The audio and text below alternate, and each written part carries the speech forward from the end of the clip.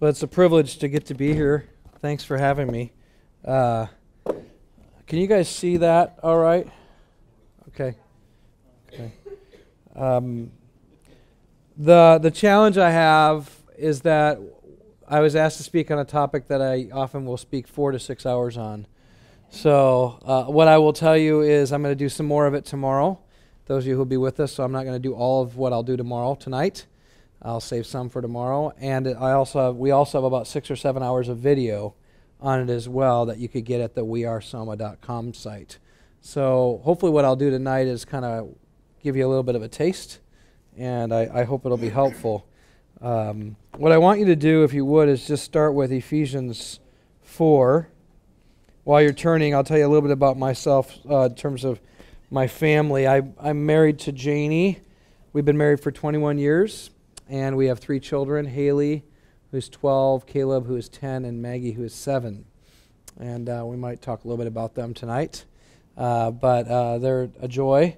And I've uh, lived in really three main, three cities for the majority, for like my life. I don't really have, I have, I've stayed in some places. I lived in Spain for a little bit, but I grew up in Muskegon, Michigan, lived in Seattle for six years, then Chicago for six years, and then back in the Seattle area, Tacoma for about 12 years. So, so I really feel like the Northwest is more my home. Most people say that I'm more European than I am North American. Um, I don't know if that's true, but I, I know that I came to faith when I was in Spain, so maybe that's part of it. So um, I was born there, so so that's kind of fun. Um, not born physically, but spiritually. So. Um, so anyway, it's great to be with you, and um, I'm gonna. How many are going to be with us tomorrow?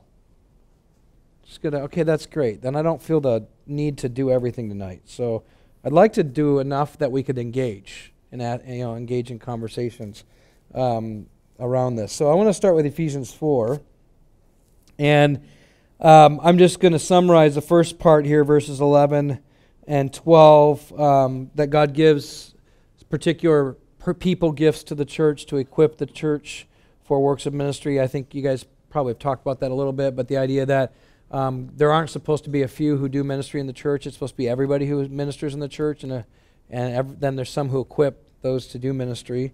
He goes on in verse 13 until we attain to the knowledge of the faith and of the Son, or the, and of the knowledge of the Son of God to mature manhood, to the measure of the stature of the fullness of Christ. So the picture that Paul is trying to put in front of us right here is that we have the fullness, and the fullness is in Jesus. We know that Paul says in Colossians that Christ is the, fullness of the deity dwelt in bodily form. So we, we have the glory of God in Christ. He's the complete, full everything. And Paul even says, Christ in you, the hope of glory. So, like, even that little gospel nugget you should walk away with with just great hope that you're not lacking anything. You have the glory of God, the absolute fullest glory of God in you, Jesus Christ. And so, uh, that, that, if we get anything tonight, it would be um, make more of Jesus and less of you, and you'll be already be on a good trajectory. Uh, so, but then Paul says he, we want, he wants us to, gr- we're going to grow up into Christ.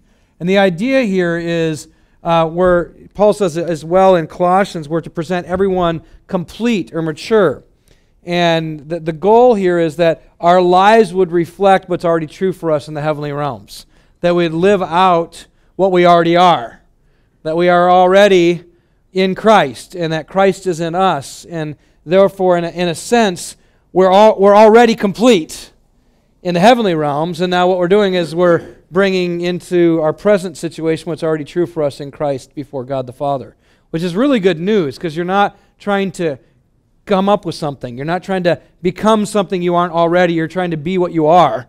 And when Paul talks about putting to death the flesh, what he's actually saying is the old person shouldn't be the way you're defined anymore. There's this new person, and that's you in Christ. So I want to make sure that's clear because if you don't get that, then, then we will uh, misunderstand the very heart of the gospel. And that is the gospel is really about a great exchange. You know, at the heart of the gospel is God substituting himself for us. If you're going to like summarize it, that'd be a great summary statement. You know, God substituting himself for us. Uh, in, in, a, in a sense, Adam wanted to substitute himself in the place of God. And, and Jesus comes as God and to substitute himself in our place as man. And he takes on humanity, human flesh, dwells amongst us, lives the perfect life we can't live, dies the death we deserve, rises again to be the new man that now in Christ we get to be. Uh, all because of him. So it's all substitution thinking that I want you to think about. So, like, anytime that, I mean, if I was just going to give you a nugget about gospel that you should apply to everything, you should keep asking, how is Jesus the better?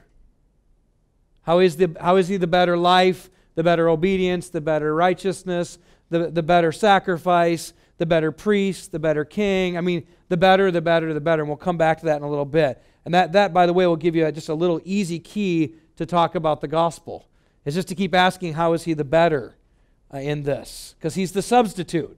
He's the better of everything that we all need. Um, so, so he's Paul saying, I want you to grow up in to the, the faith and knowledge of the Son of God. It's a, how is he the better? How, how is he sufficient? How, how do I walk in all that Christ is and all that Christ has done? Because it's already real. It's already true for us. You're a co heir with Christ. You're seated with Him in the heavenly realms. At one point, Paul says, I pray that the eyes of your heart might be open, that you'd see this. You know, and that's his big prayer. So he says, I want you to grow up into that, to mature manhood, to the measure of the stature the fullness of Christ, so that we may no longer be children tossed to and fro by the waves, carried about by every wind of doctrine, by human cunning, craftiness, and deceitful schemes. So what he's saying there is there should be no place for ongoing perpetual immaturity in the way we live out what's true for us in Christ. Like we, we got to grow up and into fullness, into all that is true for us in Jesus. And I'm afraid that a lot of us just kind of begin with Jesus, but we don't continue in Jesus. So we're very immature in our understanding of what is true for us in Christ and how it changes everything. So hopefully, even tonight, you might grow up even more in what is true for you in Jesus and what's uh, true for you now in the heavenly realm. So then he goes on, and this is the part I want to hit on. Rather, speaking the truth in love, we are to grow up in every way into Him who's the head, into Christ, from whom the whole body, joined and held together by every joint with which it is equipped, when each part is working properly, makes the body grow so that it builds itself up in love. That's a lot. I'm not going to unpack all of it. Just want to get the, the kind of general thinking. He's saying we speak the truth in love, that's the way in which we help people grow up into what is true for them in Christ.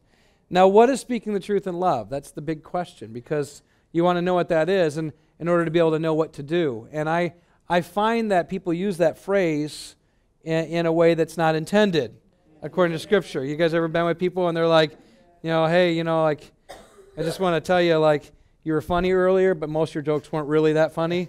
just speaking the truth in love, you know? right? That's that was that was a joke, by the way. Um, that's not what it means, but that's what we think it means. We think it means saying hard words in nice ways.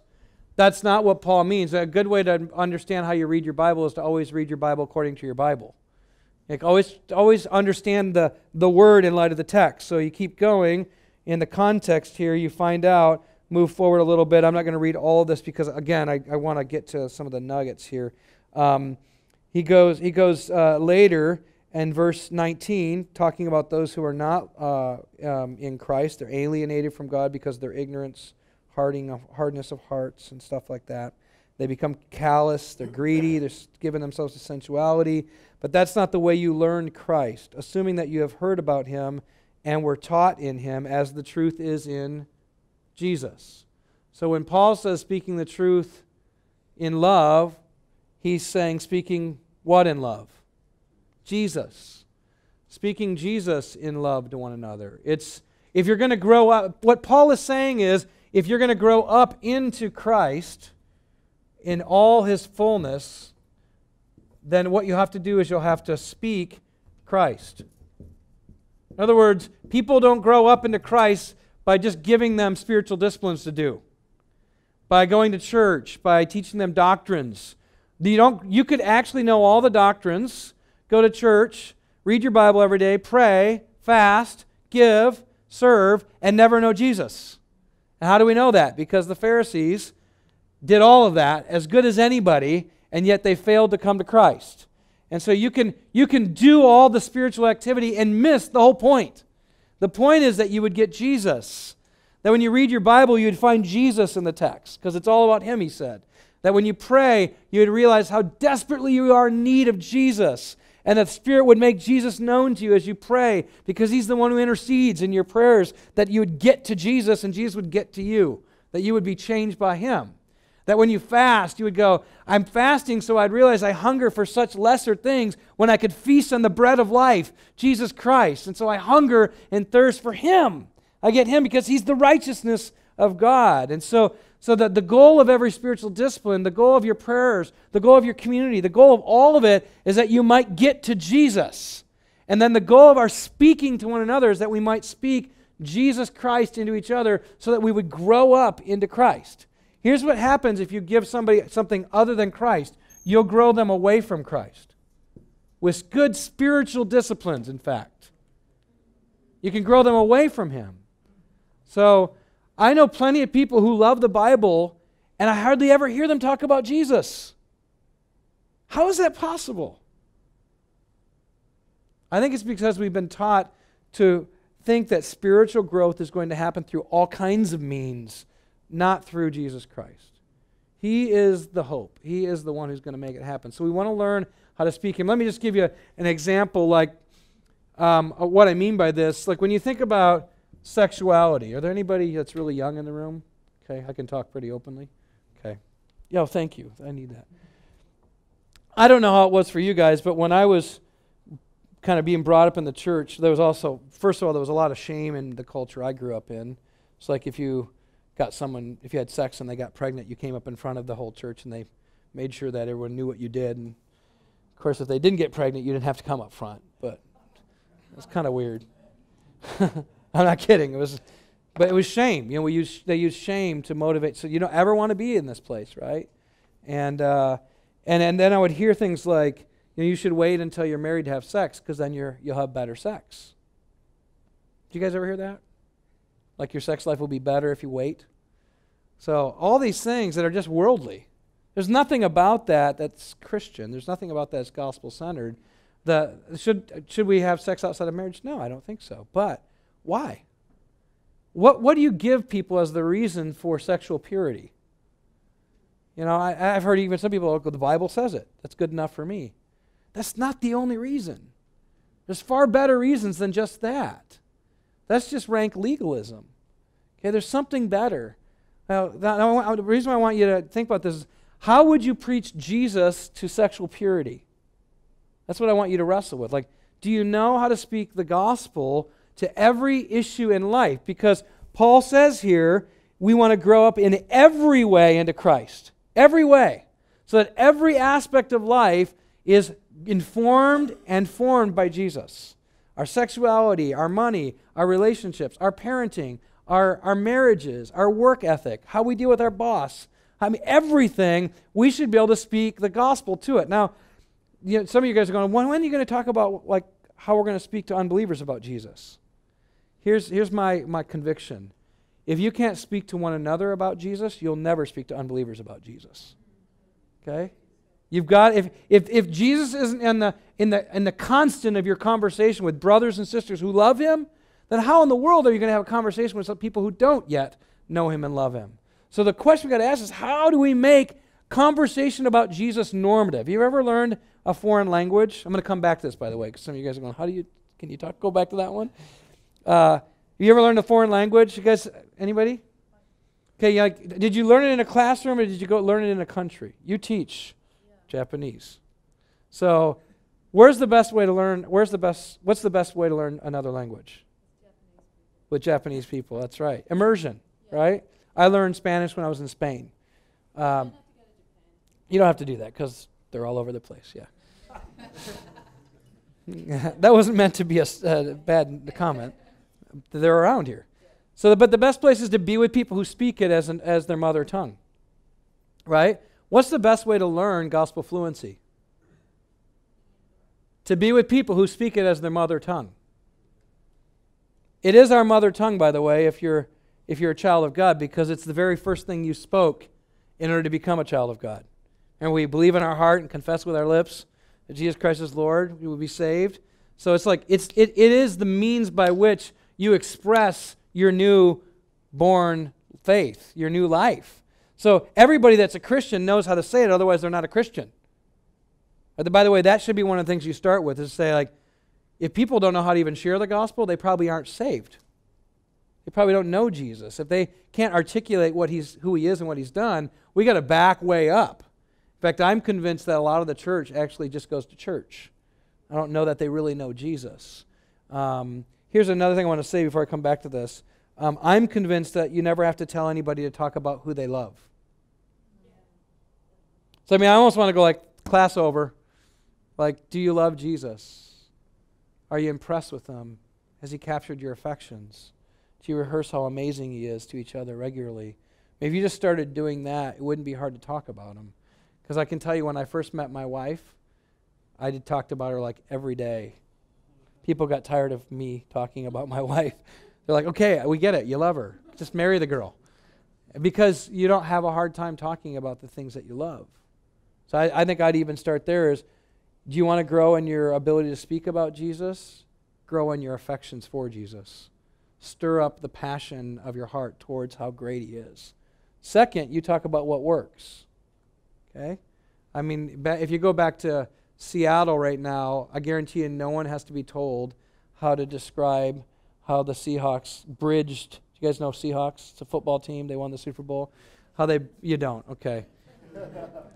Well, nobody has to draw a bridge diagram to talk about how they bridged the gap of not having the Vince Lombardi trophy to how they did it with Russell Wilson and the 12th man and how they filled the gap between. Like, no one has to draw a picture of that. They just tell you we won the Super Bowl. They tell you it finally happened. They, they talk about how it happened. Like, nobody has to tell anybody how we did it or how to talk about how we did it.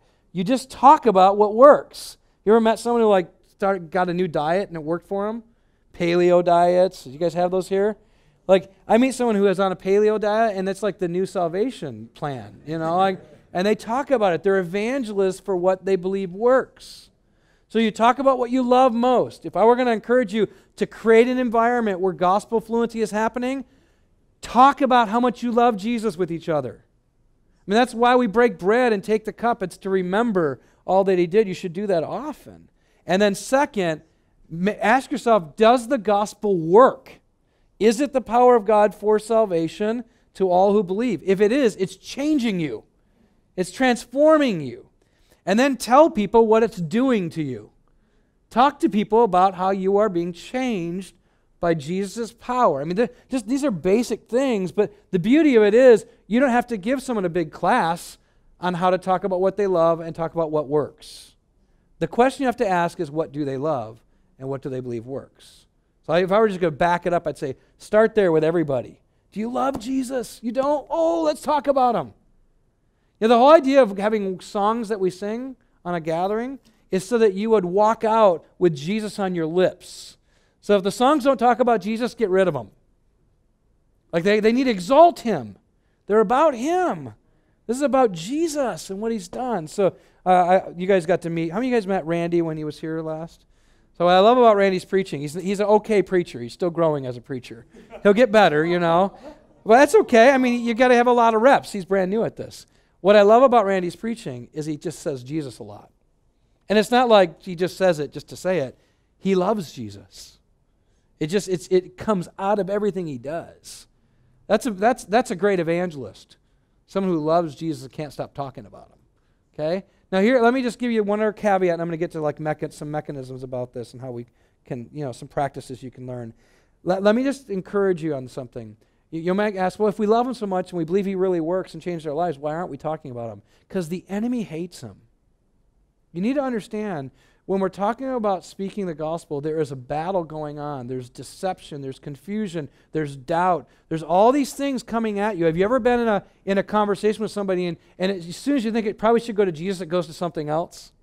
You know, you get into a b- debate about politics or uh, abortion or gay marriage or whatever it may be. I mean, the, the, friends that I have that I've been sharing the gospel with, it always goes away from Jesus really fast. Who do you think's doing that? The enemy's doing that. He's, he's at work. He hates Jesus. He hates Jesus getting fame and recognition. He's against him. And so you need to realize there's a spiritual battle going on whenever it comes to evangelism because the name of Jesus has power to save. And he knows that. So, so I, want, I want you to like just kind of like gird yourself up spiritually for the battle. Because if you aren't aware of that, you're going to go into conversations, you're going to go, You're going to go, how come we never talk about Jesus? You just need to understand you are going to fight a war to get to the conversation about Jesus. There is a battle going on for the souls of men and women, and the evil one knows that if they get to hear about the greatness and amazing love of Jesus Christ, they're going to get set free. And he doesn't want that. So you got to think of it like, okay, we're at the we're at the cell gates. We got the key. We can open it up, and there's a bunch of people guarding the gates, and they want to beat you up so you can't open that gate open those, those prison doors and let out the prisoners. That's, that's where you're at when you start to share the gospel with an unbeliever. You're right at the door of the cell. You have the key. You can open it up. They could run out and go free, and the evil one does not want you to bring the key out, which is Jesus. Okay, that's, I just want you to know that because sometimes we're like, why is it so hard? Because you're entering into a battle when you start to talk about them. Does that make sense? If you don't embrace that, you're just going to go like, ah, just, I'll wait another time. No, you, you've got to realize these are souls that are captive by the power of the evil one. Now, God is powerful and mighty, and I believe He saves, but He does do it through you and I speaking the gospel of Jesus Christ. So know that that's going to happen, okay?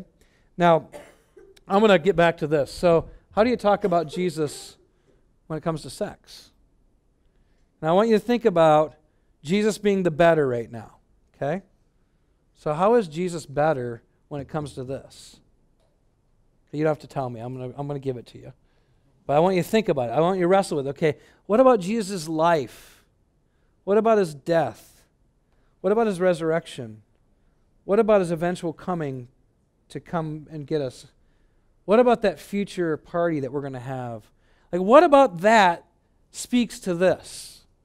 That's kind of how I want you to think about every single issue in life what about his life? What about his death? What about his resurrection? What about his second coming? What about the future new earth that we're going to enjoy with Jesus forever? Speaks to the issues of life.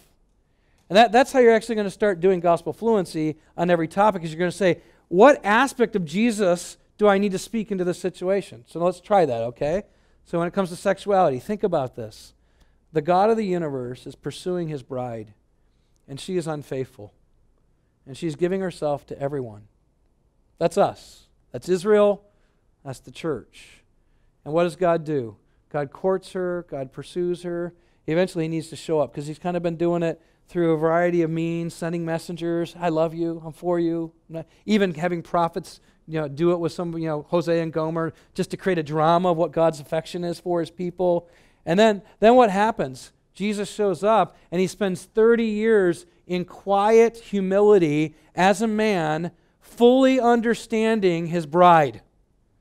Hebrews says that he was tempted in every way, just like us, but without sin. Remember when Peter says to husbands, Husbands, live with your wives in an understanding way. If there's anybody who has an understanding way to how he understands us, the church, it's Jesus, because he spent 30 years living our life without any recognition. He went through it all. So you've got an understanding bridegroom, okay? And then what does he do? He pays for the bride with the, the price of his own life. The bride price is Jesus' life on a cross. And not, not, not only does he die on the cross to purchase her, but he sheds his blood to purify her, to give her the most beautiful wedding dress ever. He pays for the wedding dress. How is it in your guys' culture? Does the brides usually pay for the wedding? Bride's family? See, I think we should change that. I, think, I have two girls, so I'm really working on this one. Um, because Jesus paid for the bride. And he paid for the bride's dress. And he's paying for the wedding. So on the cross, he dies, sheds his blood. The beauty of sexuality, anybody in the room, you don't have to tell me this, any in the room ever been impure? Your thoughts, your actions, lusting after somebody? Maybe, maybe even you had a affair, or maybe you, you didn't wait till you were married. You, do you understand that Jesus shed his blood and you're pure? You're cleansed of your sin? You are seen as a holy, beautiful bride, as white and pure as she could possibly be. That's who we are in Christ because of his blood shed on the cross. And what's even more amazing is Jesus doesn't just purchase with his blood, but then he dies, he rises again, and he puts to death every enemy that could destroy this marriage. He's not going to let anything come in between us. He is committed. This is a covenant. It's a new covenant. Nobody can destroy it. He secured it. And what's even more amazing is you want to talk about a guy who's waiting to have sex? Jesus will not consummate this marriage until he comes, and it's been over 2,000 years so far. Talk about a faithful, de- dependable, patient, loving man who is willing to be pure for his woman. That's Jesus. That's, you know why we want to be pure? Because he did it for us. You know why we want to be pure? Because we're telling his story with our sexuality. And you know when we fail to tell the story well with, this, with our sexuality, we get to tell the story of his blood shed on the cross for the way in which we failed to tell the story well. And in either way, Christ is glorified, we are pure, and we can actually rejoice in sexuality in a way that tells something about Jesus. Okay, does that help? Is that okay? So I want you to work, I want you to think through how can we do that with everything? We had a, a one of our missional community uh, members come to one of our gatherings one time, and we were hanging out, and she was complaining about her boss.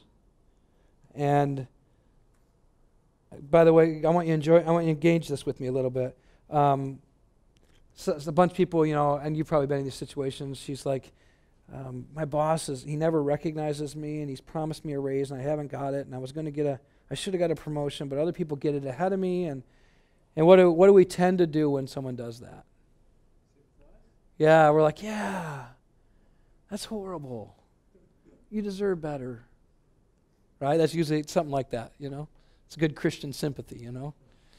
Um, how, how would the gospel speak a better word to her than just saying, Yeah, you're right, that stinks? What's the better word?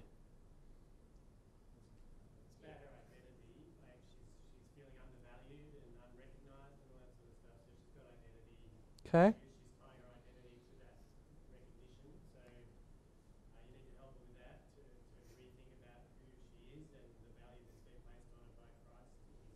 Great. Yeah.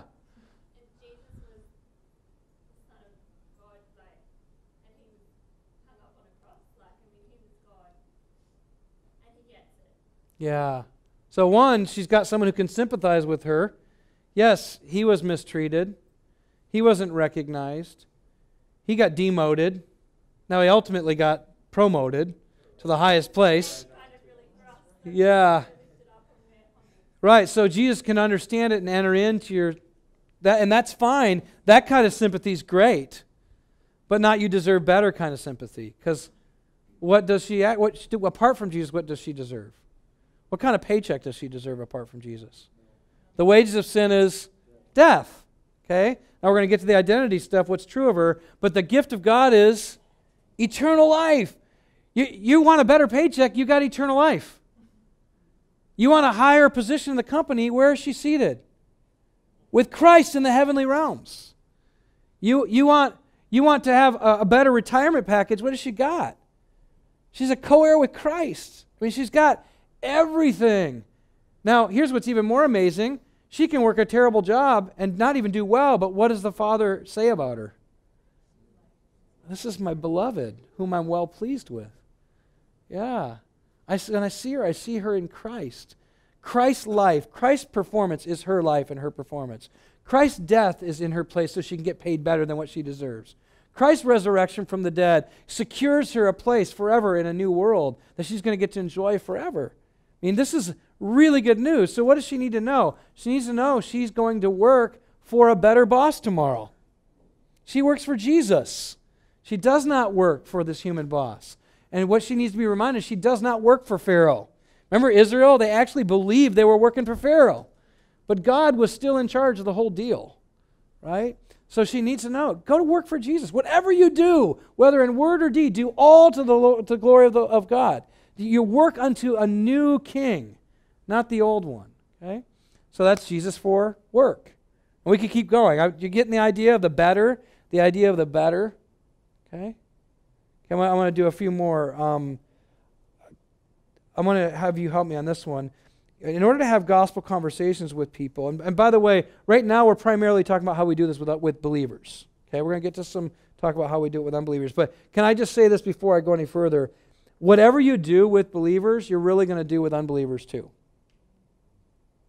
Okay, don't, don't have like a different mindset. Like, okay, when I'm talking to Christians, I talk this way. When I talk to unbelievers, I talk this way. When you talk to a Christian, you're talking to them as a human that you need to understand, that you need to listen to, that you need to get to know the story of, that you need to understand how they need, you need to uniquely hear the gospel to their unique need in that moment. That's how you should speak to a Christian about Jesus. Exactly with a non believer. The same thing. You listen to them, you get to know them, you get to know their story, you get to know their unique needs, so that you know how to share the gospel uniquely to where they're at. Don't if you learn how to do it with both, you'll be great at evangelism. Okay? Uh, let me ask this other question just to see if you're, you're following me. Who do you do evangelism to? Right.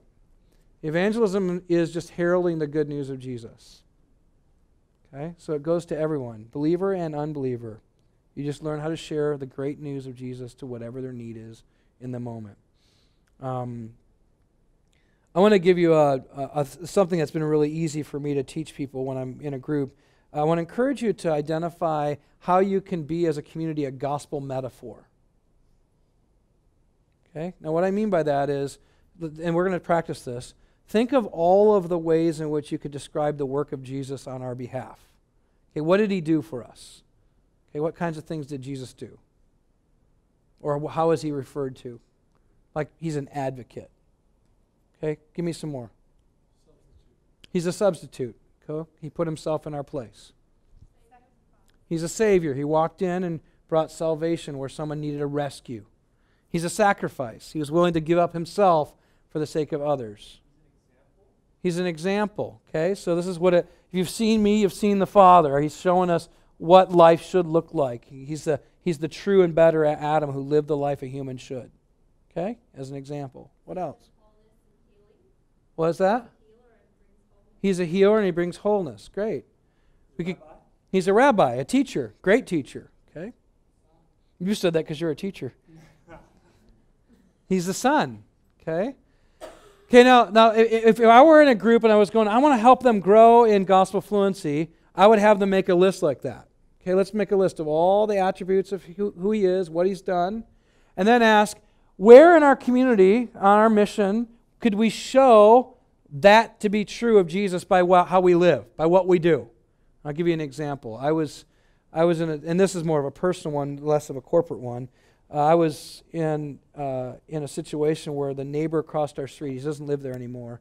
Uh, he used to he used he put a sign up in front of his house like a permit parking only, and if you park there, he would glue a glue a sign on your window that said something like "Can't you read?" and it was really nice. He actually was a seminary professor at the local seminary, so our whole neighborhood knew he was professing to be a Christian, but he was doing that to all these people, and uh, horrible, horrible.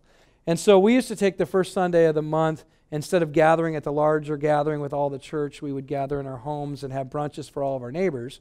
Because if you want to actually reach people that don't go to church, you do it on the time when all the Christians are in church. So Sunday morning was the time when we knew we'd get all the people who weren't a part of a church. And so they'd come over and have brunch with us on Sunday morning. And all these people are, the, are with us, but he's not because he's a seminary professor and he works at a Lutheran church and he's, he's kind of leading the liturgy. And so they start talking about him.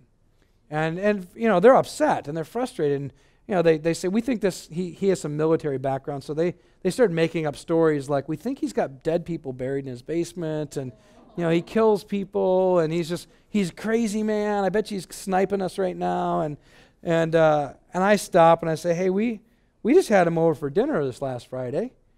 And everyone's kind of like, whoa, you're, oh, yeah, you're one of those Christians. Great. You know, I, and I kind of took a risk in identifying with him. Uh, and then I said, you, need, you don't know this, but he's actually a really nice guy. He brought my wife some flowers. He brought uh, a bottle of wine for dinner. We had a nice meal together. And I got to know his story a little bit. And he's been really hurt. Uh, I heard a lot about what happened to him when he was a young boy. And I, am not going to go into those details because you have to get to know him to find that out. But I will tell you that I think he cares a lot about justice because of the injustice that was done to him. I said, Now, I don't think what he's doing is right. I think it's wrong. But I want to ask that we just don't tear him apart anymore. I'm hopeful that there'll be a day when maybe we could all be sitting at the same table and we might actually get reconciled. We might be able to see this fixed in our neighborhood. And so conversation ends. None of them are Christians, okay, that are at the breakfast. Next day, my neighbor across the street, who uh, has not come to faith still, um, she pulls me aside. She says, and by the way, let me pause. It's not our job to save people. Okay, I want to be real clear about that. Don't, do not feel the weight of saving people. It's not on your shoulders. That is God's job. Okay, and a lot of times I think we put so much, oh, I got to do it right. I got when am I going to do it? And and you get so overcome with the kind of burden you're not supposed to carry. It's not your job. Your job is to be a witness to Jesus by the power of the Holy Spirit and let the Spirit do what He wants to do through that. Okay? So I, I feel free about that. That's the good thing. It's not my job. It's my job to be a witness, it's my job to walk in the power of the Spirit, and I will hopefully do that with His help. So the next day I'm out, in my, I'm out in my yard, and my neighbor comes up to me and she says, I don't understand you. Why in the world would you defend that creep? And she used some other words that I'm not going to repeat.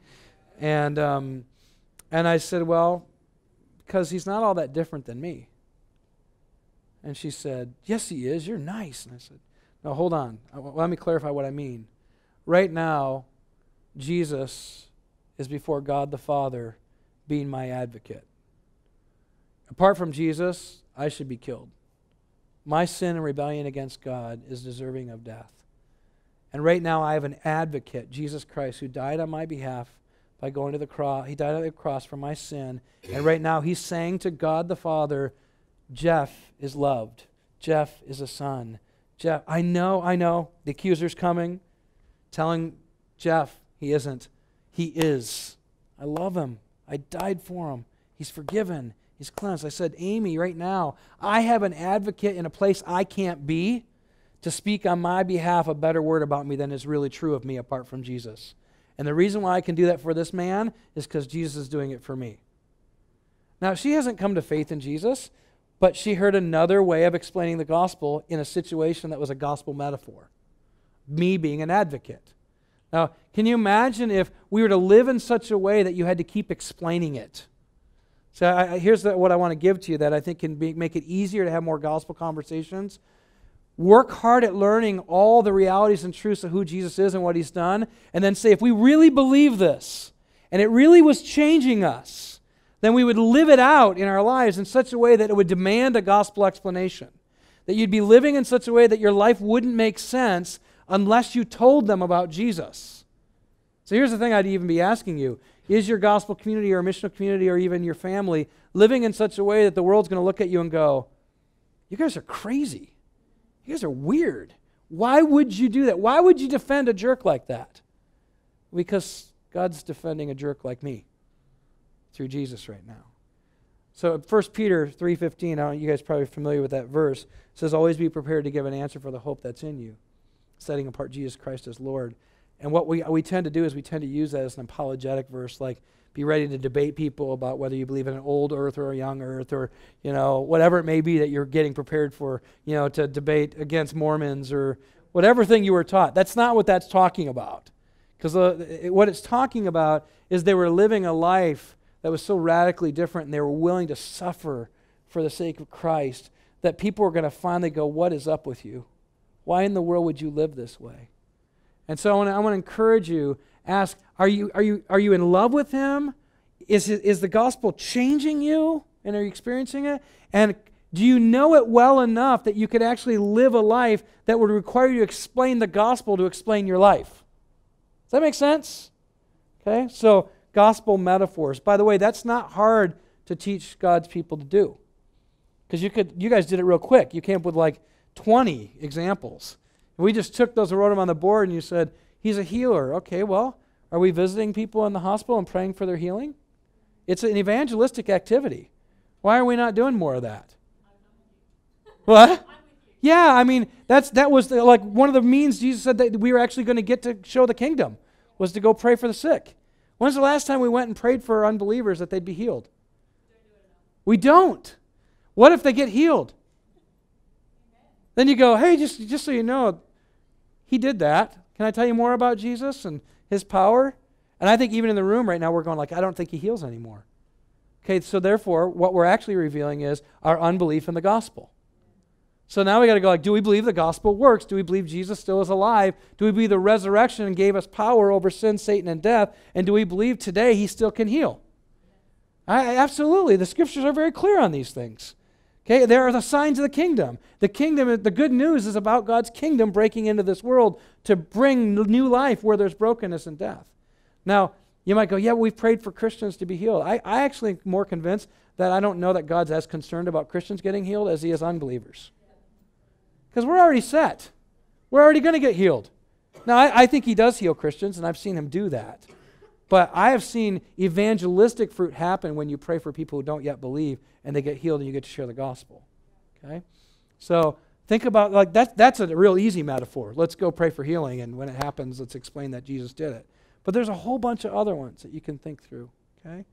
Um, I want to give you some examples. By the way, are you okay? Am I going too fast? I'm sitting there going like I got to get this in in 45 minutes. So try. I know it's a lot. Um, you, you all right? Can I keep going? Okay, good. Okay, faster? Okay.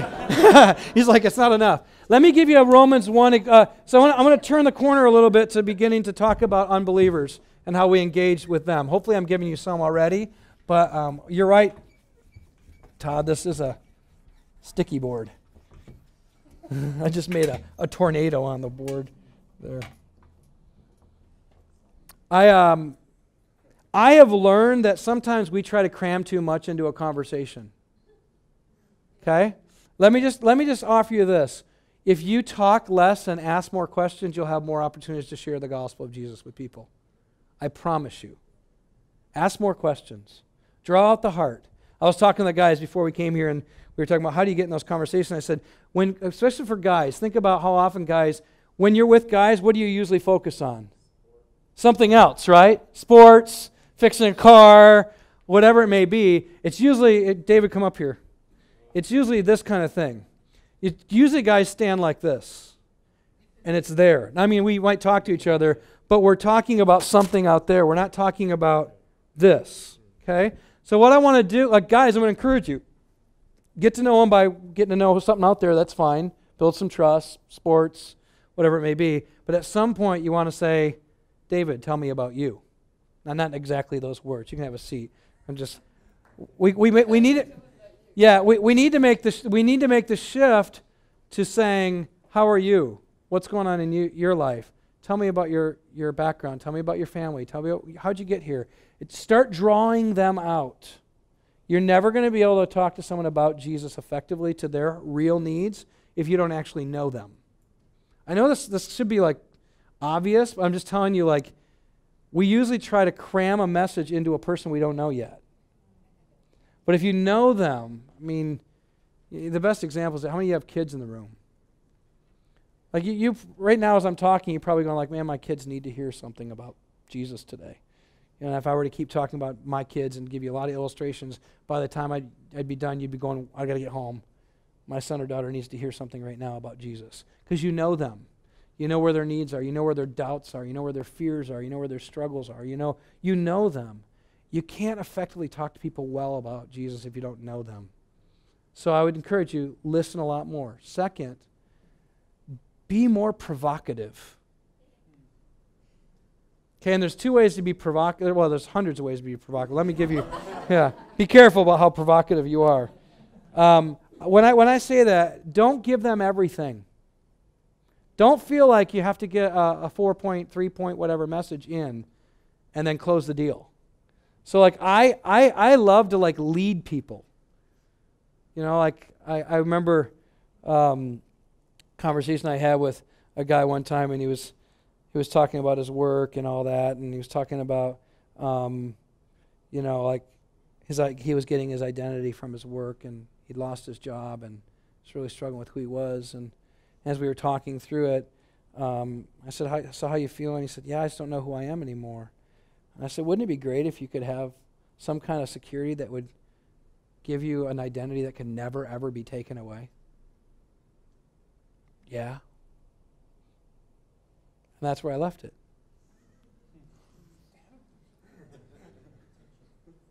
Because what is he doing? He's going, Why do you say that?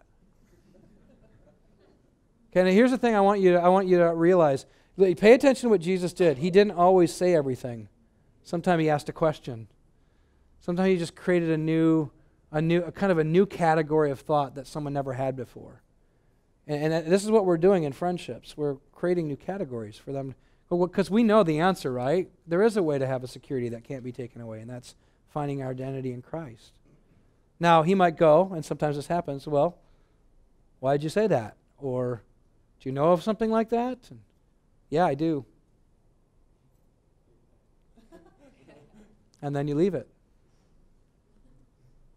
I, what, I, what I've learned in evangelism is sometimes I feel like it's my job to keep the conversation going. But I, I want to tell you, like, if you ask provocative questions or make provocative statements, the conversation will keep going if they want it to. And if they don't want it to, all you're going to be doing is forcing a conversation anyway. So be provocative. You know, it's like, just know the kingdom of God is so attractive, so amazing. If the Spirit of God is at work and you just ask key questions, it's just going to draw them in. But what we tend to do is we just tend to slam them away because we try to do way too much. Okay? So be creative, be patient, trust that God's at work. It'll really free you up, by the way. You actually kind of start having fun with it. You know, like, you know, like, hey, man, you know, like, I, have I've, I've had, like, I've had guys talk about, like, don't you ever worry about money and the market? I'm like, no, man, I got a rich dad. and then you just stop and you don't go any further. And like, he's got a rich dad. I wonder what his dad does. he may not talk to me about it again, but I can, maybe it'll come up later. Or it, my wife and I, you know, like, They've been with people watch my uh, my relationship. They'll see us fight, and you know they don't always see us make up, but and they'll go like, "Man, you guys have been married 21 years. What's the secret?" Oh man, a long time ago, I found out a secret to a marriage that will never ever end. It's amazing. And then you leave it. like, be provocative. Create an opportunity for them to hunger for more.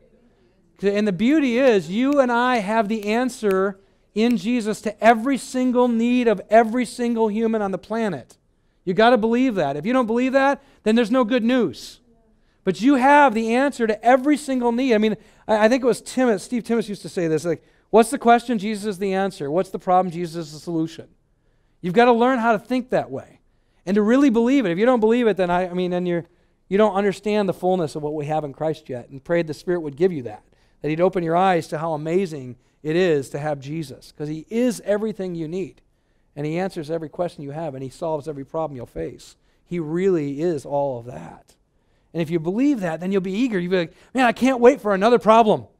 I can't wait for another, another question. I can't wait to create a question.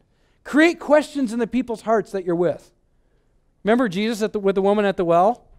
I have water that, you know, never ends. That's exactly what he's doing. She's like, wait a minute.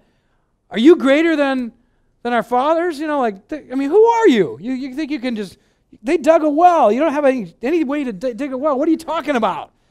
And then he tells her about what he's going to do and who he is. And he, he says stuff like, yeah, I, know about you. I know, I know that the one you're with isn't even really your husband.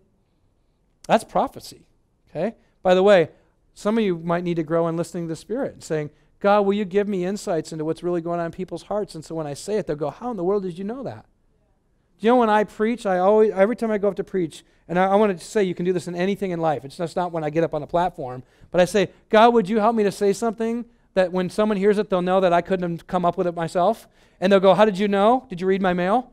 And I usually know that there was a prophetic word given when someone comes to me after I preach and they go, Did, did you talk to someone about me?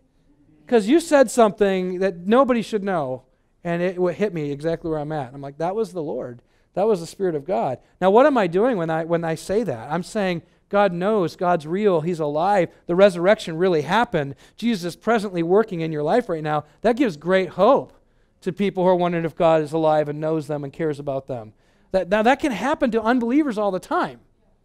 It really can. So pray that God gives you insight. Pray the Spirit gives you unction. Pray that He, he puts divine knowledge into your mind about a person. And then go like, hey, I, I just had a weird thought. And we, sometimes that's really from the Lord.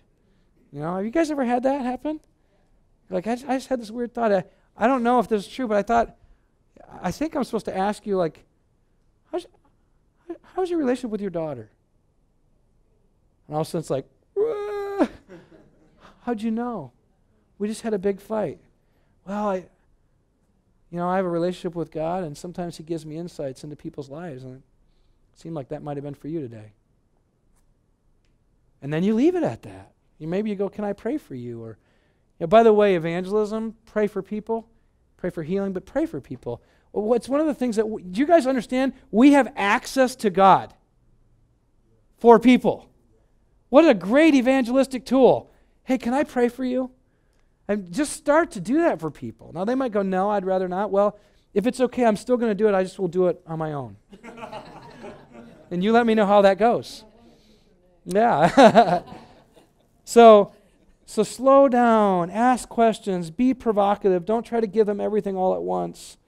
Um, I want to tell you about my friend Ziad. He hasn't yet come to faith, but um, as he and I were engaging in these kinds of conversations, you know, we were hanging out together, we were having meals together.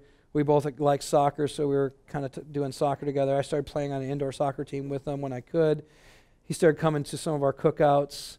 Um, and then I, at one point, I just, said, I just asked him, hey, would you like to just get together for breakfast once in a while? And he said, yeah, that'd be great. So we started going out for breakfast, and each time I asked him a little bit more about his life and about his family, about his father and about his mother and all these things. And I just got to know him, and he started to open up his life to me. Which, by the way, everybody wants to do that. Thank you so much. Everybody wants to be known. Okay? And I remember this is a tool I want to give you. Romans 1 is a, is a great evangelistic tool. Okay? Uh, let me just tell you how you can use it. And I've, learned, I've been learning to do this more. I, I, after I, got, I was with him for a while, I said, Ziad, I want to let you know that every single human being is a worshiper. I said, now I want to define what I mean by that because that might sound like weird to you, like some religious thing. And he, he's got nothing to do with any religion whatsoever. I mean, his dad is Muslim, but he didn't, his dad was not really that involved, and his mom's got some kind of weird stuff, a mixture of like three or four religions, but Ziad has nothing to do with any of it. And um, I, I said, everyone's a worshiper. What I mean by that is that everybody builds their life on or upon something to the point at which it becomes the fulcrum or the, the center weight of their life. It's the thing that they trust in the most. It's the thing that they look to the most for significance or approval or whatever it may be. And I walk, walk through that. And, and I said, so let me just explain what happens. If what you worship is not God, then God gives you over to that to show you that it's not a very good God. So he turns you over to that and what you end up doing is you want it to do something for you only God can do for you, and it doesn't. So then you want it to do, you want it so badly to do for you what God can do, you start to lust for it, which means you long for it to give you something it was never meant to give you. So you lust for it, you want more of it, you want more of it. People do some people do it with alcohol, some people do it with their work, they become workaholics, some people do it with their kids. They put all their pressure on their kids to be perfect so they'll feel better about themselves as parents. They, we do it with all kinds of things. We do it with our spouses. But we, we all do this. Every one of us has done this. And I said, and then what happens is God, God knows that we're not getting it. So then He gives us over again, and we begin to do all kinds of things with that thing that we ought not to. We, we kind of pervert it. We take what was a good thing and we make it a perverted or broken thing. So we, we try to manipulate it. And I said, the example that's used in the Bible in Romans 1, God uses sexuality and how we do that with sexuality. But we do this with all kinds of things. If it's our kids, we try to manipulate and control them. If it's our marriage relationship, we try to make them something they were never meant to be. But either way, we, we try to make a good thing into a God thing, and then we try to manipulate it to be our God the way we want it to be. And it doesn't work. And then God gives us over another time to do all kinds of crazy things and have wrong thoughts in our minds about them, and it leads to hatred and anger and bitterness and rage, and, and it, it breaks the thing that we loved and we wanted to be God. It ruins that thing for us. And I said, Do you have anything like that in your life? Anything that you worshiped or looked to like that? And he goes, That's my dad. I've been wanting my dad to approve of me. I wanted my dad to accept me. I've been wanting my dad to like finally be proud of me. And I've gone to school and I've worked hard and he still isn't. And I said, Where are you at with him? He goes, Sometimes I just want to kill him. I said, That's that's the result of you looking to your dad to be your God. He goes, No, no, it's my mom.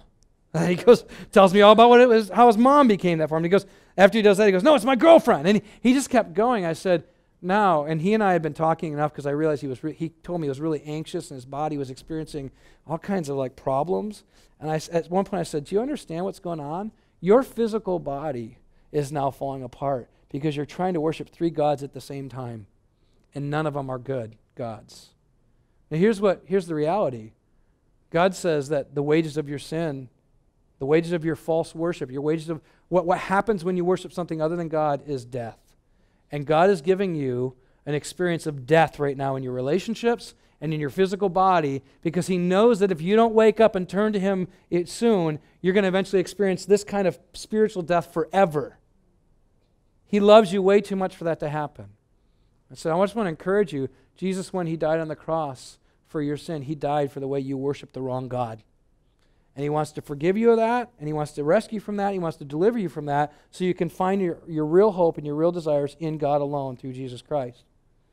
And he just stopped. He was like, Never heard that before. I go, You think that's true? Are you experiencing the wages of your sin? He goes, Yeah, it's killing me. I said, You want to turn to God now in Christ? Put your trust in Jesus that he died for you? And he goes, No. Because I don't believe it. I said, All right, I'm going to keep I'm here for you. I will always be here for you. When you when you want to talk more, we'll keep having breakfast. And he still has not come to believe in Jesus. I remember at one point we were talking, he goes, I want to believe. I just can't. I said, Well, I'm going to pray that you will. I'm going to pray that the Spirit of God will waken you up, wake you up to, to really see the truth and come to believe. Now, I give you that because I think we've been trained to like have one kind of way to do evangelism. There's literally hundreds of ways in the Bible. The Bible is all about evangelism, just so you know that. Like Romans 1 is an evangelistic passage about what happens when we when we worship a false god. You can talk to people about that. You know, you're going to have to explain what worship is. That's part of what you have to do is you have to explain terms. You have to enter into their turf. You have to know them well enough to be able to engage that. Okay? Yes. We had been having breakfast enough times, and um, at, at, one point, he, he was talking a lot about his physical ailments. He was really anxious. He wasn't sleeping well. And, um, and so then I just said, let me tell you about this, uh, this idea of, of you being a worshiper. And what you're experiencing is the physical ramifications of your false worship. So, and he said, you know, that makes perfect sense, but I don't believe it. And that's when you know, like, that, that only God can save. Like only God can make him have that kind of faith. Because I, I that was I did as best I know how, and it didn't matter. So that's that I feel don't feel the weight. That's what's beautiful about that. I just go like, Lord, it's up to you. But you know what? I guarantee you, he now has a new process to think through. Like, every, I, my prayer is, is every time he looks to something to be God and it fails him, he'll go, I wonder if that's happening. And I, I pray that everybody's God's fail them all the time. So that's not a bad thing to do, by the way, to like, to, because that's God's will. It's right in the Word that, that our gods would fail us so that we would, they'd be revealed to be what they really are, and that is they're not gods at all. So pray that people get turned over uh, to their false worship in such a way that it actually leads them to Jesus because it doesn't work for them. So, okay. Um, so I need to take a break, or I'm is that enough? And we'll do some Q&A. I got one more thing I can do, but I'm just You want me to do one more? Okay. okay, I am like it's like fire hose on you right now, so I'm sorry. You okay? Um, two more. Look at you guys. Three, four. Some of you guys going, I want to go home. Isn't the gospel of Jesus amazing though? Like, I, I, like, let me just back up. Can I encourage you, whenever you're with people that love Jesus, to talk about Jesus? Like minimally, if you if you end up walking out of a time with a bunch of believers and Jesus doesn't come up, you ought to just like call everybody and go like, I am so sorry that I didn't lead us to worship our King today. Like should, he's the, he should be the topic of the conversation. I mean, no matter where you're at, and work at that, grow in that. Like spur one another on toward love and good deeds. Well, how do you do that? You keep talking about Jesus with one another. You remind each other what you have in Christ. I mean, Paul doesn't write a letter without like doing a big diatribe of worship at the beginning, and usually it breaks out at least two or three times in the middle of the letter just to remind them one more time about what they have in Christ. Keep bringing it up because people won't know how to talk about Jesus in winsome ways if you never do it with them. And the beauty is, if you're in community that does it, you'll all get better at it. You know? Like, hey, let's take a moment. Let's talk about what Christ means to us right now. Let's take a few minutes. Let's talk about his life. What do you love about Jesus' life? Now, I hope that what you're hearing me doing is I'm just giving you the elements of the gospel every time I like his life. Talk about his death. What does his death mean to you? What about his resurrection? Isn't it great he's going to come again? I'm so excited he's given us a brand new earth. Oh, and that feast we're going to have with him, what a party that's going to be. And just rehearse it over and over and over again, every element, and talk about it. I mean, if you just talk, you could talk about Jesus' life forever. We will. Think of all he's done. It's amazing. Try an exercise like this. Pick a topic with a group and just go, okay, the topic is, and you it's work or it's money. Okay, and say, okay, let's let's rehearse everything about Jesus that should help us rethink that thing. Okay, that'll grow people in this. It's, it's kind of like if you're going to learn Japanese, not only do you talk about, but you have to learn the vocabulary. You have to learn grammar. It's like we have to do the same thing with, with Jesus, with the gospel. Talk about every aspect. Get all the vocabulary down. Every way in which you can talk about how great Jesus is. You should rehearse that. And the beauty is, if you do, you'll just be worshiping Him anyway. It's not like an empty exercise. By the time you're done, you'll be like, yeah, is amazing. This is our King. Like that's how it should be. I mean, how many of you like to talk about your kids? And you're like, oh, my kid, he's so amazing. He's good at soccer. It's easy. Jesus is so much better. So much better. If you don't believe that, then you don't know him. In fact, your kids need Jesus to be better because if he isn't, then they have to be. You know, but when you can tell them, you know what, son, you have a there's a better son, and he is in your place. That, which means you are just like Jesus. You are loved just like Jesus. You are accepted just like Jesus. Even when you fail, you are you have Jesus' life. Don't you love that when Paul says it to the Galatians? Like it's by the faith of the Son of God. We live by the faith of the Son of God. It's not just the obedience of the Son of God, it's the faith of the Son of God. It's the way he believed, the way he trusted God. My, I, I ask my, my kids regularly, I say, Who's your real dad? And they go, Not you, Dad. Because they need a better dad than me. And Jesus shows us who the better father is. And so I regularly tell them, I'm not your real dad. Your real dad is your heavenly father. I'm just the means by which God brought you into this world. And I'm to show you what the father's like. You know? And and I'm not always going to show you what he's like. And that's why we need Jesus, because only Jesus can perfectly show you what God the Father's like. So when I fail, we're going to both look to Jesus together, both for my forgiveness as well as for your example. And when I do well, we're going to know that's because Jesus is living his life in and through me. And so we're going to give him credit for the way that I am a good dad that day. It's like, that's how I, I'm teaching my kid to make it all about Jesus over and over and over and over again. Think, just keep, keep working on that as a group. That if you can do that with each other, then when you're talking to a friend and you listen, you get to know what's going on in their life, you're going to right away go, I know what they need. Because Jesus meets that need that they're struggling with right now. And if you get good at talking about it with each other, which by the way, we have a, we're a grace culture. So like I, will I'll practice every once in a while. I go, okay, pick a topic, group. Okay, let's talk about how Jesus is the better in all of that. And they start doing it, and someone will say something, you know, it's not right. And okay, group, what do you think about that? Well, that didn't sound like that was Jesus, man. That sounds like something else. Okay, well, it's all right. Remember, we're full of grace. And so you, you create a culture. Of all the people who should be able to practice this, it's us with each other. Okay? By the way, let, let, me let me give you one more thing before I give you that. You said two. I'm going to give you two. So, um, oh gosh, gosh, I'm okay. I don't know if you're okay. Um, pay attention in your groups to whenever a topic or concern comes up, and Jesus doesn't become the hero in that moment. Okay, I want to give you an example. Like, like it's not just did you talk about him; was he the hero?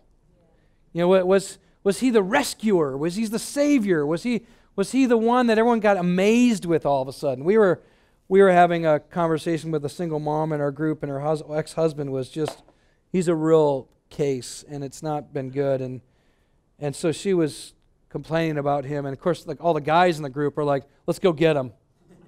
Let's go beat this guy up, you know. And, and uh, they're just and they're just nailing. They want to nail him. And and I think there's a, there's kind of a righteous anger about men who don't treat women well. I think that I think we can feel that. God doesn't like that either.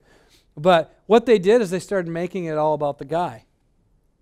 And so everything started being talked about. How are we going to, do we need to bring him to court? Do we need to, what do we need to do? And at one point I stopped and I said, hold on. Wait a minute. Who's the hero right now? Who's the one that this became all about? Did it become about Jesus or are we still talking about this guy? And I said, well, it's all about the guy. And I said, what what, her name's Elisa. What does Elisa need right now? Does she need to be, have this man be the center of her life or some other man? Because if we keep making it all about this guy, we're telling her that guy has the kind of authority and power in her life to destroy her life. When we know there's someone who's a better man and has more power. So, can we shift the discussion to start talking about how Elisa needs Jesus, not us to go beat her, her husband up? That's not what she needs right now. She needs to, she needs to realize she is worshiping her ex husband. And I stopped and I said, Elisa, how much control does he have over your life? And she said, Every bit of control.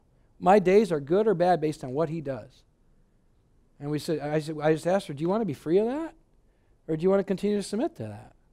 She said, Of course I want to be free of that. I said, You can be. I want to talk to you about repentance. Repentance is when you turn away from something that was, was your God to somebody who is truly God. And right now, your ex husband is the one you're still looking to to be your God because he is the controlling center of your life. I said, Group, how can we lead her to Jesus right now? And so we, we said, repent. And, and the only way you're going to repent and turn to Jesus is if the Spirit tells you he's a better husband than this one. So, can we talk about how Jesus is an amazing man for you right now? And they just started to talk about Jesus, he, he's your protector. He's your provider. He's never, he will never leave you or forsake you. He is with you. He understands you better than anyone. He grieves with you. He hates what's going on. Of course he does. It's terrible. But we can't fix it. He can. He can heal you. He can, he can restore you. He can meet you in your deepest needs. He can pour affection over you that you've always wanted your husband to give you, but he never will. Only Jesus can. And we began to make Jesus the hero in that moment. We said, Turn from your husband, turn to him. Now, there might be things we have to do and talk to your husband about. But if you don't turn to Jesus instead of your husband, it ain't going to matter what we do to him. He's still going to be your God. And that's what you need to be free of. Yes.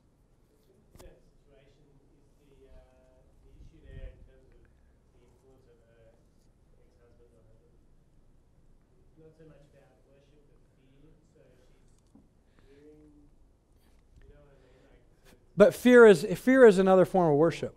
Yep. That's why at the beginning. F- yep. Yep. Yep. Think of fear this way. Fear is whatever you think is in front of you that could control your world. That, that's why the fear of the Lord is the beginning of wisdom. So uh, we, we tend to think of fear as like, it's just, I'm, uh, um, well, I don't know how we think about fear, but I've been learning to think about it a lot lately because I've, I've struggled with some things that I've feared in my life. And I began to realize I was actually fearing something that wasn't, but fearing something that could be. That's what fear is about. It's about what could happen. It's always what it's about. Because if it's happening, there's not a fear in it. That's just a reality. You know, now it's like pain, or it could be other things you're experiencing, but it's not fear. Fear is about something that could be, that could happen. And so the reason why the fear of the Lord is the beginning of wisdom is because you're saying, I'm trusting Him for my future. I'm trusting Him for what could happen. I'm going to put my trust in Him. So that, that's really what fear is. It's where you place your trust for what could or could not happen. And so what was going on for her is she's the fear, and it, for her it wasn't just fear, just so we're clear on that. For her it was anger. She didn't like that he was treating her poorly. She she didn't like how you know, like he, it seemed like he was trying to manipulate to get the kids in certain time. I mean, there was just a whole bunch of inconveniences that she didn't like that he was bringing into her life. He wasn't hitting her. He wasn't. It wasn't physical abuse. So it wasn't that kind of stuff. But but there still might have been fear there, you know. But fear is connected. You you you fear most what you love most, or you think could could take away your love. Take away what you love most. So like if you love your kids most of all then you fear whatever could threaten your kids. Okay? So whatever you love most will be connected to also what you fear most because if you love your kids most, then you'll fear losing your kids or what could happen to your kids. So then you're afraid of schools, you're afraid of, you know, cities and because man, what could happen to my kids? Now, it doesn't mean you throw a band into the wind and you go like, "Go kids, kill yourselves." You know? But but fear that controls you is connected to what you love most and what you fear most. Always. So if we can have the fear of the Lord be the most controlling center of our life, then we also have the love of God, which casts out all fear, the other kind of fear, because it has to do with punishment. You know, and so then we then we're in the safest place. That makes sense? Okay. I don't know if I lost where I was going. Okay. So I want to give you everybody has this storyline. Have you guys seen this before? Maybe David you've done this before. You done this? You have? So I'm just repeating. Okay, then I, you want me to do it anyway or not? Have you done the whole thing or Okay. In a straight line, sorry. Oops, we don't want that.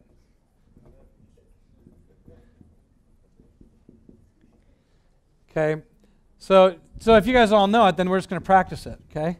So everyone has a, this storyline in their life. What's the creation part of their storyline? Yeah, origins. It's my identity. Origin. What is it that I look to to kind of define who I am? What's the fall storyline? Yeah, why is my life broken? What's my problem? What's the redemption part of the storyline? Yeah, what's my solution? We're going to get to the gospel answer. I'm just and then new creation, what's that? What's my ultimate hope? When all is as it's supposed to be, what, what will my life be like? Okay? Now, everybody has this storyline. So, like, a single person who wants to get married, what's their identity in, potentially? yeah, I, am gonna get a, I'm gonna get a spouse. So, so if I find if I find a boyfriend or girlfriend and we get married, that'll be that will give me my sense of identity and significance. Okay, what's the problem? I'm not. Well, could be a lot of things. I, I always pay attention to our women who are wanting a, a, guy really badly, and they're like, "The guys are jerks. Nobody pursues me." And, you know, and they they'll just give me like 45 different things that's wrong with men, you know, in our city, and it just, I mean, it it's like boom, boom, boom, boom. And usually I just say, okay, let me just ask if a guy never pursues you and you never get married, will you be okay? If the answer is no, then they really think their solution is this should have been probably marriage, I guess. Their savior is a spouse. Now, all of us who are married go, are you kidding? Do you not understand what you're asking for? You want them to be your Savior? They're just like you. They're looking to you to be a Savior too. Like you guys are going to kill each other. so we know that doesn't work. And then the ultimate hope is, you know, life happily ever after type of thing. And we know it's a, fairy tale. I mean, marriage is great. I love it, and I'm thankful to be married, but it's the hardest thing I've ever done. I mean, it didn't, it didn't complete me, it undid me. That's what it did. it tore me apart in the best possible way. It's God's sanctification in my life. But so, so let's just let's just could we tell a new storyline for the person who wants? What's a gospel-centered storyline for someone who would like to have a spouse? Now, is, is getting married good? Absolutely. So we don't want to ever say what God has called good, bad. It's a very good thing. But when it's a God thing, it's a bad thing. That we, we make it to be a bad thing at that point. So what, what, what someone who's wanting to find their identity in, in marriage, what do we get to tell them? What's the gospel storyline for them? What's the good news? Huh? Yeah, we. That's right. Our solution is the bridegroom. We have, we, there is a perfect spouse who's pursued us. We already went through that earlier. So we've got that. What is our real problem? Well, he's not here yet. Well, he is here, isn't he? What? Unfaithfulness. I'm, un, I'm, the, un, I'm the problem, not him. He's present, he's available, he's given himself to me. The problem is that I'm looking elsewhere. Right? So, by the way, the problem is always going to be our, our sin, our unbelief. And, and please connect these two. Jesus tells us that the Holy Spirit comes to convict us of sin in regards to our unbelief in Jesus. So don't, don't disconnect those. Don't think of sin primarily behaviorally. think of it uh, has a lot more to do with belief. Okay? So, what you believe. So, there's unbelief, my unbelief that there is a perfect spouse that is available and is here and present, and he's pursued me. Now, I know for guys that might be a little weird when you say, you know, like, I, I know it's hard sometimes for us to think of Jesus that way, but we are the bride of Christ as the church. And think of it this way someone actually wants you, someone actually is pursuing you, someone, God actually is proud to call you his own. That's, I mean, every, every, every little boy grows up and says, I want to I wanna know that I measure up. I want to know that I became somebody. You know, you, you are somebody. He pursued you with his own life. You, you, you, you're fine. You're measured up in Christ. Okay? So then what's my identity, my origin? It's like, it's, it's really that there, that uh, there, I'm sorry, this should be here. There is a wedding feast coming. Okay? I am going to get married. Guaranteed. Okay? So y'all can relax if you're going, I want to get married. You're going to. It's guaranteed. Now, some of you might go, yeah, but I want a physical man right now. He's not nearly as good as Jesus. And I tell you what, if you don't believe that and don't get to that, you will actually destroy your marriage wanting your husband to be that. You got you got to be satisfied with Christ as the perfect one for you. And so, what's my identity got to be in? It's got to be that I, I'm, I am loved. And that's evidenced by looking at what Christ has done for me in Jesus, okay? Now, let me give you a storyline of a friend of mine who was an unbeliever so you can see, because like this is great for Christians, right? It's pretty hard to tell someone that who isn't true of yet. They don't believe it. So, this is good for us. We need to hear this. It's good for our friends, too, because we can say, you know, you're seeking something that can only be found in Jesus, ultimately. You know, I love talking to friends who are having marriage problems. I'm like, the fundamental problem is that you actually want your husband to be God for you. And he can't. I know, he's a jerk. Okay, we got that. So are you. you know, so uh, you can have those kinds of conversations, but if they don't believe this, then they, they only go so far. But it's still something you can give them. You can give your single friends hope. You are wanted. I know you think guys don't want you. The best guy ever wants you. And he did everything to pursue you. And you just don't want it. I love it when people say, I just want a man to love me. I go, I got we got the greatest man that ever lived who's pursued you and, and gave his life for you. And you don't even receive it. You don't want a man to pursue you. You want this to be all about you, not about him. And you can have those conversations at some point with people. Okay? Um, we did that with Nikki. Some of you know that. About do you know who Nikki is? So we got to finally talk to her about the fact that she's looking for the perfect man, and the perfect man's already been ch- chasing after her, and she just isn't responding to him. She could respond to the perfect man, and she'd get the, the love of her life in Jesus Christ. Finally, she did come to him. She's still a mess, just so you know, just like me, and you know we're all still working out the truth of our our new identity in Christ. So, um, so you have taught them this. Should I do another round with an unbeliever, or you guys got it? Tell you what, my wife's one of the best gifts in my life because she just talks about Jesus to everybody all the time. She just doesn't, she's not, and, and uh, she has tons of unbelieving friends because she's not weird about it. She's not, you know, like slamming it down the throat. They just know Janie loves Jesus. They're like, yeah, Janie loves Jesus. It's no surprise. She's always talking about Jesus. That's great. I want them to know that. I don't, I'm not ashamed of my kids. Why would I be ashamed of him? So, so be known as people who talk about Jesus, you know, not in weird ways, just open, you know, like I, re- I when people ask me, well, what do you do? You know, why'd you move to Tacoma?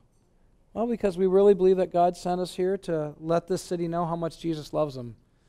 So we want, we want them to see it by the way we serve, by the way we care, and He loves you. I hope you know that. That's, if, if, that's, if that's too much for us to say and we think it's going to be offensive, then I don't know where you're going to go. You know, I mean, if you can't even say that and they're offended, I mean, I don't mean, gosh. And if they're offended, ask why. If people go like, oh man, that bothers me. Why? Why does Jesus bother you? I encourage you just to have more open conversations. And I had someone ask me one. I know I'm not answering questions. let me give you this, and I'll ask. I'll answer your questions. But I had someone ask me like, so like, are you really open with unbelievers right away? I said, pretty soon into the relationship. I, I'm not gonna. I, am not into any of this hiding, kind of bait and switch thing.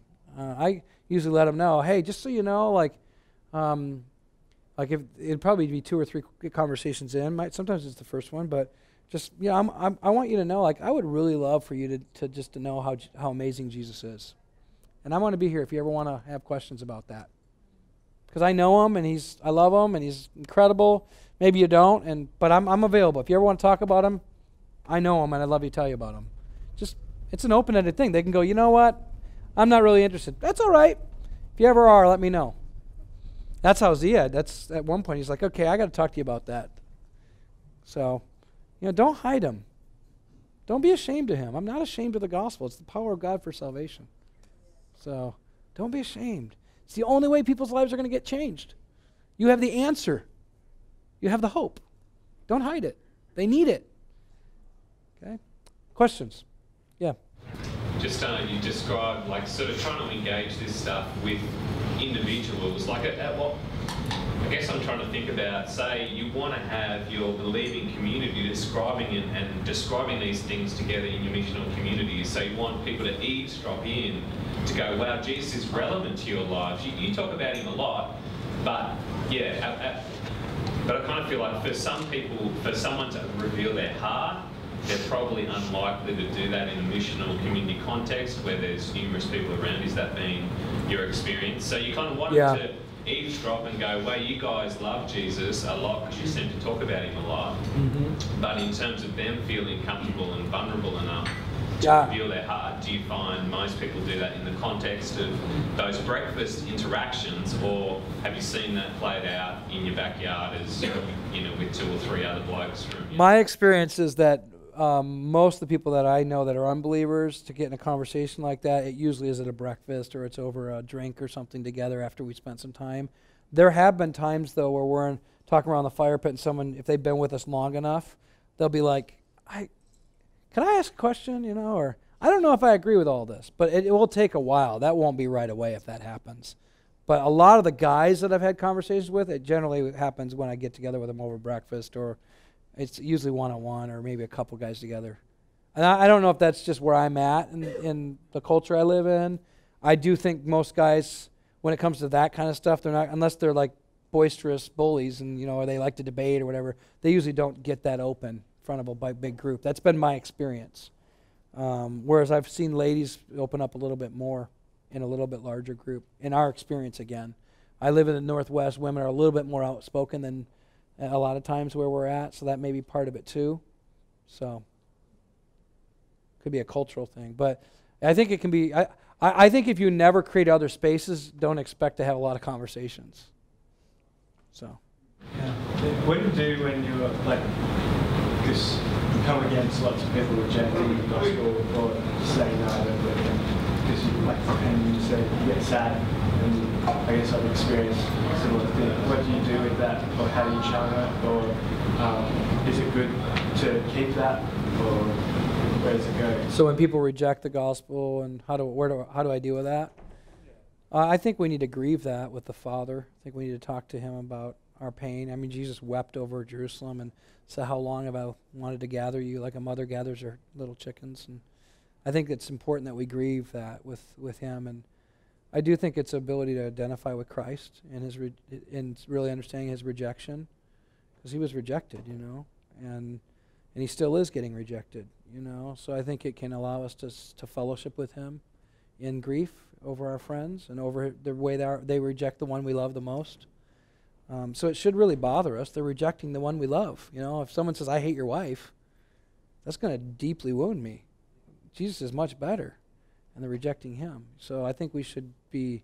I have a great wife, but um, I think we should be grieved. I think we should talk to the Father about that. I think we should talk on their behalf and, and intercede for them and pray that the that the Spirit would break in. I mean, I think some of the grief over over people should lead us to pray more earnestly for them. So.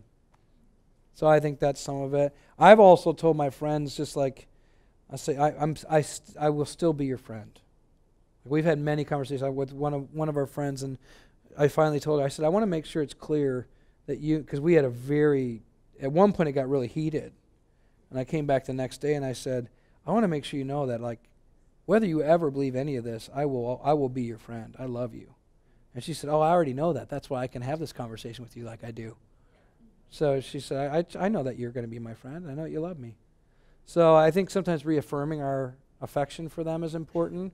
Because I think a lot of people, because they don't know the Jesus and they don't believe the gospel, they think that we're going to accept them or reject them based upon whether they accept or reject what we believe. Because that's what they do. And, um, and so we don't have to do that. We can still, we can show them the grace of God regardless whether they believe. So I think affirming our affection, letting them know that we're still here, those are really important things to let that, to have them hear from us. So, yeah. Jeff, when you ask um, provocative questions, particularly Christians, but people who aren't yet Christians either, do they ever, like, you tell some stories about responses that seem to be open, people open to talking about it with you. Do you ever find people feel so exposed that it becomes awkward? Because those provocative questions are exposing, or Yeah. did that. And I try not to do too many of them in, in large groups because I don't think that that's helpful. Yeah, yeah. So, um, But even in small one-on-one situations. Yeah, they've, I mean, people have gotten awkward. And I try to back off if I sense that they're not doing well with it. And I think that this is where we have to pray that the Spirit gives us sensitivity to what they need, you know? And I, will tell you that the, the, the, best thing you can learn is to walk in the Spirit and listen to Him because you'll, you're better off knowing what He knows and what He wants. And we, I think we tend to like do evangelism in the flesh. And that's why I think it's so weird for us and so hard for us. By the way, it won't be hard if you're walking in the Spirit. So, and if you're not don't know how to do that, like, let's help you learn. You know, get into a group. We'll teach you how to walk in the Spirit. Set your mind on what the Spirit desires. And by the way, the way you walk in the Spirit is you put to death the flesh. And I know it sounds simple, but if it doesn't feel like death, you're probably not going to be walking in the Spirit. That's how I've taught our church more and more. I'm like, there's a real like, oh, I got to say no to something. That's going to be painful and it's going to be resurrection. It's cross and resurrection. That's the spirit life. Is dying and rising again. It's that constant death and life, death and life. That's spirit walk. Okay? Yes. Yeah, um, you said early on that you know sometimes we feel like we've got to be two different people, like two non-Christians and two Christians and that kind of stuff. My question is, so um, know when Paul talks about being like a, a Gentile to the Gentile, how does that fit in? Be all things to all men or Yeah. them. Yeah. How does that? So what, what Paul is doing there, though, is he's not changing who he is. He's just changing how he, how he uh, speaks in light of what they need. So that was part of what I was saying. Like, when I learn how to do it with a Christian, because I have to do the same thing with a Christian. Like, I'm, I'm hanging out with different people that are believers, and I have to, like, think through how do you need to hear this? And if I learn how to do it with Christians, it's that same tech, it's that same skill. And hopefully the Spirit's given me that insight. So, Lord, give me understanding. Help me to really understand their heart. Help me to hear what their heart cry is. Tell me what to say in light of their story. You know, it's all that. I'm doing that with a Christian. I want to do the same thing with a non Christian. That's what I meant. And I, I think, unfortunately, I think we get lazy with Christians. We we don't do that with each other very well. And so then when we're lazy with Christians, we get lazy with a non Christian. We do the same thing. 'Cause we're not learning how to be mindful of the other, listening, understanding. So that takes care. It takes love. It takes patience. Yep. Did another hand go up, or do we? Do, yeah. Uh, two quick questions, Jeff. Uh, how do you guide a community to grace as they learn gospel fluency and fail? Yeah. We have, we have the culture where Christians, we, we are guys unemployed, uh, living with my wife at the moment. People are learning, they're failing because they're not feeling love, Yeah. not feeling gospel. Um, how do you help the community through that? The second question was, what are maybe some of the first steps to helping a community that's not very good at it um, learn it? So maybe what are the first Yeah. one or two steps to it? So first of all, the grace thing is answered by the second one, which is they really will have to know the gospel in order to give grace. The thing that's amazing about you can't preach the gospel with grace unless you're experiencing the grace of the gospel personally. That's what I love about a, the, the community of faith is because you really need grace to continue to go on. So it, it's it, it, it's an incubator for belief of the gospel. That's what's beautiful about it. It it forces the, the unbelief to show up. It forces us to need the gospel, and so I think it's it's important that the leader keeps asking, "Is it happening?" Like, okay, wait a minute, hold on, group.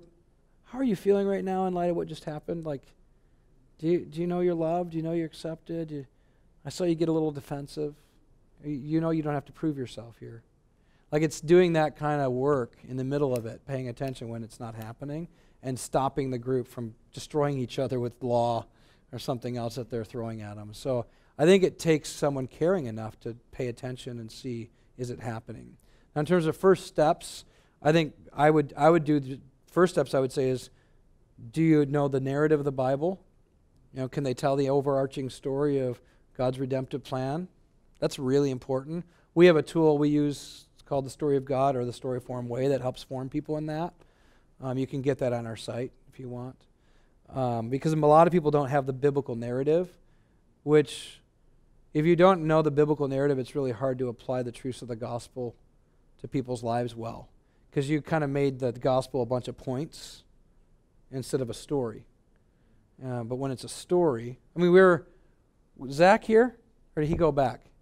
So Zach and I, you know, we went to the Grounds Coffee Place down in great place.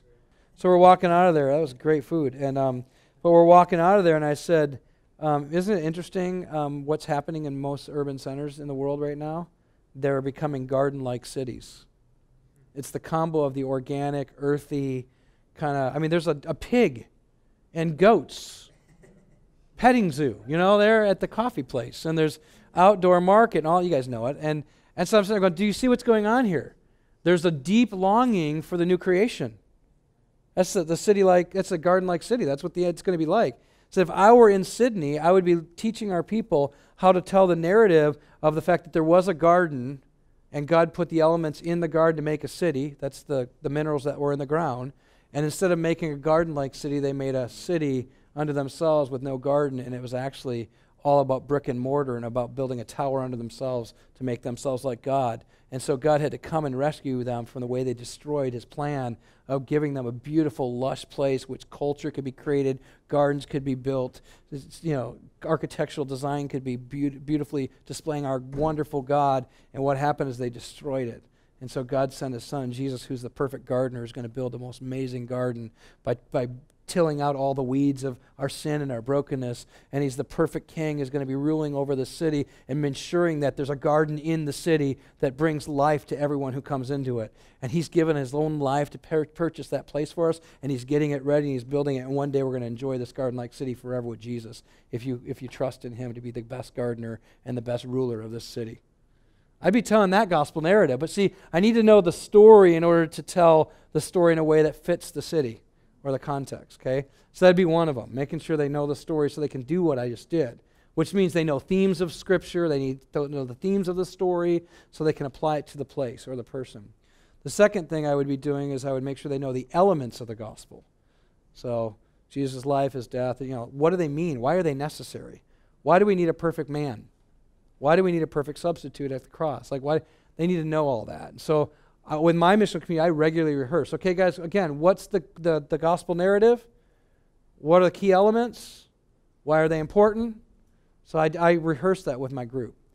Then, third, I would make sure they all know how to tell their story, making Jesus the hero. Okay, because our testimony is a great way to share the gospel. Uh, we have a tool called, um, is it called Engaging Story? Is that what it is? Or how to tell your story and make Jesus, Jesus the hero, I guess it is what it is. Yeah. And so we train our people how to do that. And so in my missional community, when I start a new one, the first thing I do is I say, I'm going to train you all in the gospel, how to tell your story in light of the gospel, making Jesus the hero. And then each week we're going to have someone tell their story. We're all going to listen for these four parts. And where we, we don't hear it, we might ask questions for clarification. So, hey, we heard you talk about your dad and how he was absent. Have you come to, to know the Father's love through Jesus? Has the Spirit has poured that into your heart yet? No. Okay, well, let's pray that you do that. So we'll stop and do that. So they, they get practice in listening to each other's story with the gospel ears. And so you do that week after week after week after week. People get pretty good at going like, wow, is Jesus the hero or not? Well, now they're going to get good at listening to other people's stories in light of whether or not Jesus or something else is their hero. So those are three things that I do with every group that I start to lead. So, all right, that's probably enough, eh? I think. You guys look tired? I should be tired. It's like in the middle of the night for me right now. Can I pray for you? Yeah. Father, we are so grateful for your amazing love for us. expressed in Jesus the Son. Thank you that while we were enemies, Christ died for us. And if we were enemies and you did that, how much more now can we be confident as sons and daughters that we are dearly loved? Thank you that nothing can separate us from the love of God that is in Christ Jesus. And I pray that you'd assure each man and woman in this room right now that nothing, nothing can change the affection that you have for us. Would you just wash that truth over our own hearts? Because if we don't know and believe that, we won't have good news to give. So let the good news preach to us tonight. Spirit, would you remind us of the sufficiency of Christ, the love of the Father, and the certainty that you will come and make all things new. You are the deposit telling us that you will finish what you started. So thank you that you will finish. It's good work that you're doing, Jesus. We love you. Help us to tell the story. Help us to boast in you.